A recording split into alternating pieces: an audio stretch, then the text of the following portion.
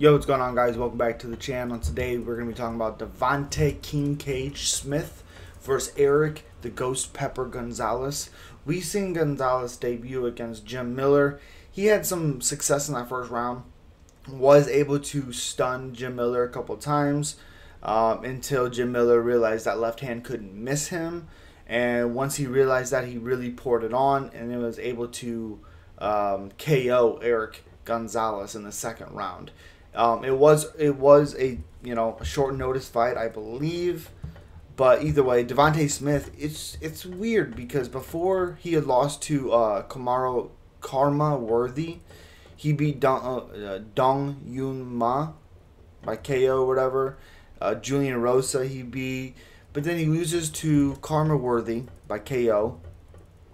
Then he beats Justin James, uh, doctor stoppage, eye injury. And then he loses to Jamie Mullarkey in a weird, weird finish. Like, Devonte Smith gets stuck and then he can't get out, and Jamie Mullarkey just starts unloading and gets the win. It was weird. We know Devonte Smith is going to come out fast. You know, he has very, very quick hands, big, big, big power in his hands as well. Um, Erick Gonzalez, we haven't seen a whole lot with. Um, I would imagine Devonte Smith is going to try to um, hang on Erick Gonzalez for a little bit, get him tired because I'm sure he watched Jim Miller fight.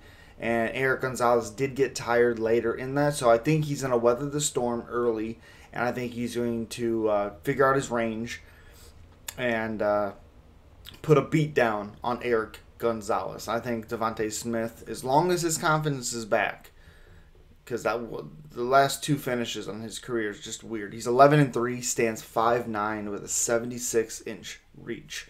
Erick Gonzalez is 14 and six, three and two in his last five fights, 5'11 with a 74 inch reach advantage. And Smith is very good at measuring distance with that reach. So yes, but I got I got Devonte Smith. Second round probably. Second uh, mid second round KO for Devonte King Cage Smith. As always, guys, please hit the subscribe button, hit that thumbs up, leave a comment down below on who you guys got, and as always, you know what it is.